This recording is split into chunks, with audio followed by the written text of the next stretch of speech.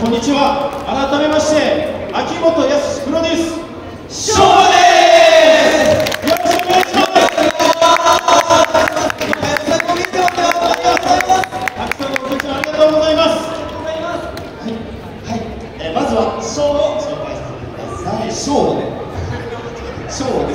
昨日もそうだったけど、集中しや まずはを紹介させてください。えー先生プロデュースの6人組の歌謡グループです。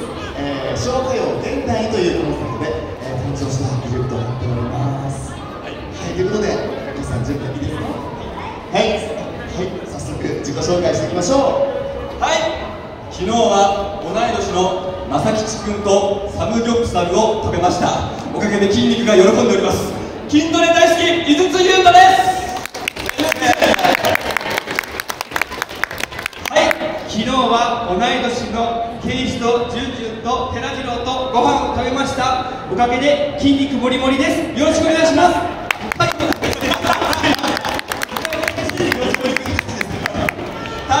ゃん。はい、えー昨日同い年の井筒君と韓国料理屋に行ってきまして、えキムチを食べて今日お肌がツルツルな塩玉崎です。よろしくお願いします。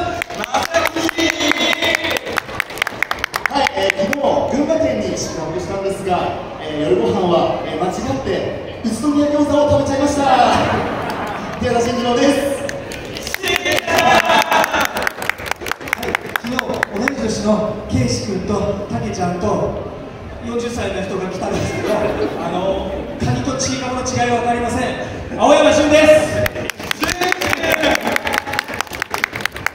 今日はソースカツ丼食べたいな。山本圭司です。でこの6人で昭和として活動させていただいております。よろしくお願いしますよろしくお願いします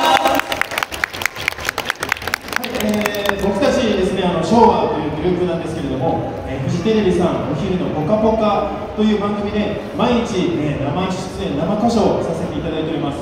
えー今週はね、特に月曜日、火曜日と雪で、はい、なかなか寒い過酷な状況だったんですけれども、えー僕たちの目標、神田愛花さんを紅白にという企画のもとやらせていただいておりますが、はい、ちょっとツッツンからちょっと一言もらおうかなと、はい、お願いします。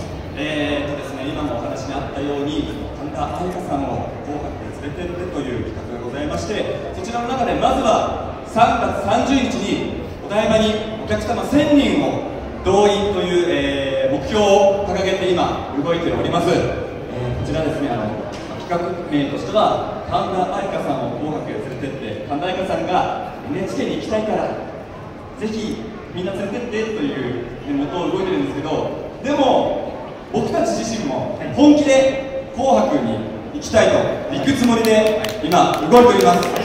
ありがとうございます。僕たち本当にもう毎日会ってるんですけどもみんなで何回も何回も絶対に「紅白」に行くという話をしております。そのためにもまずは3月30日にお客様1000人を動員こちらが叶わないと先が進めません。なので僕たち自身も皆様に精一杯の元気や笑顔をお届けしてまいりますのでこれからも皆様のお力添えぜひともよろしくお願いいたします。よろしくお願いします。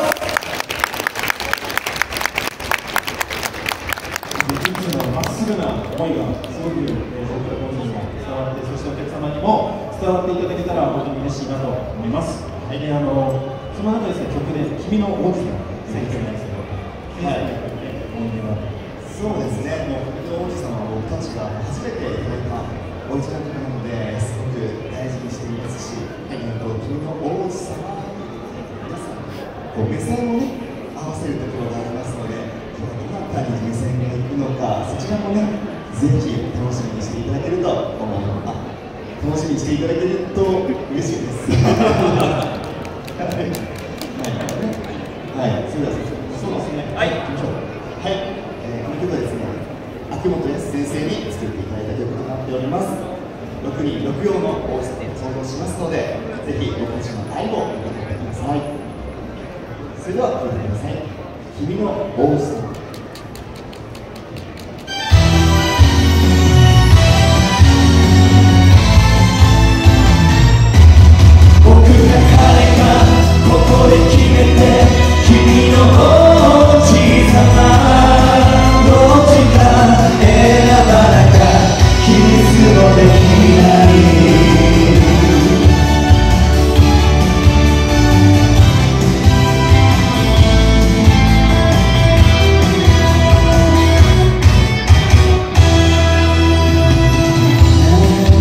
came around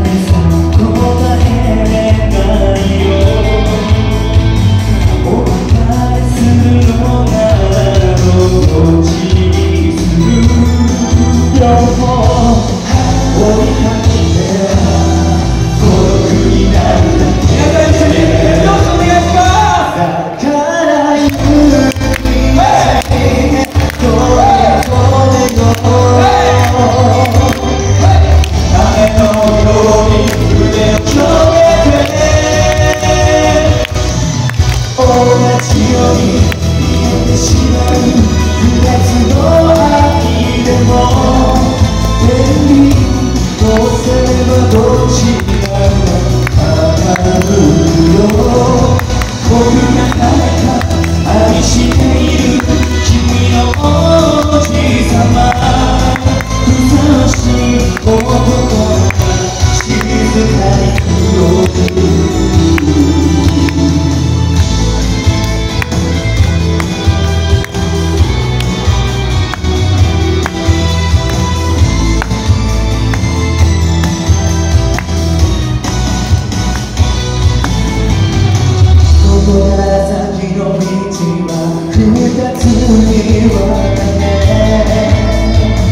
どちらかの手を取って進み